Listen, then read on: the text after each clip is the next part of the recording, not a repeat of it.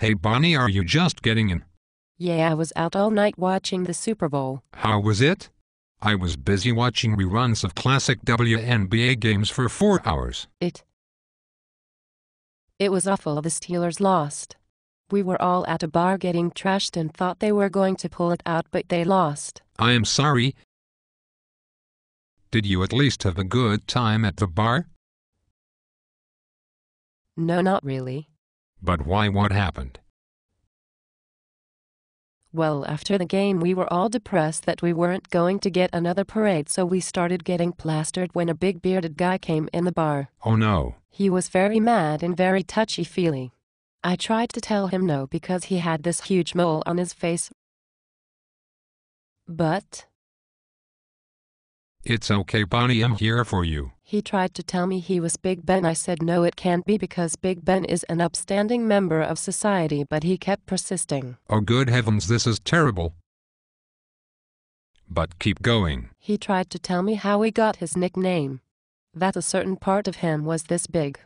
I said, oh, it must be your mo, but then he got angry. Was anyone with him? Some guy who looked like a dirty hobo.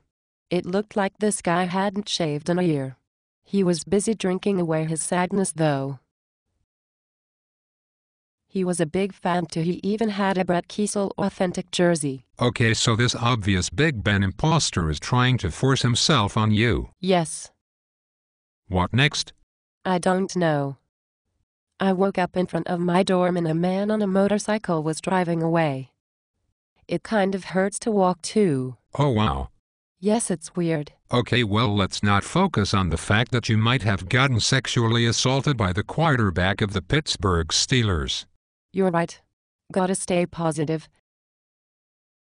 So, what's there to be positive about if you live in Pittsburgh right now? Penguins? Nope. Malkin is out for the season.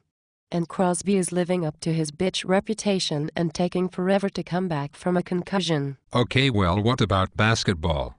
We don't have a pro team. That's embarrassing. Thoughts Pittsburgh. You mean to tell me that Golden State has an NBA team but Pittsburgh does not?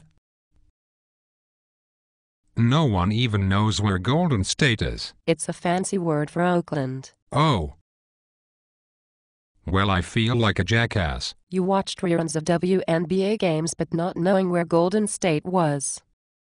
That made you feel like a jackass. Screw you. It's competitive basketball.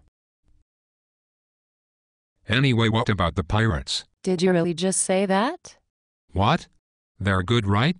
Having a conversation with you is worse than being raped by Big Ben.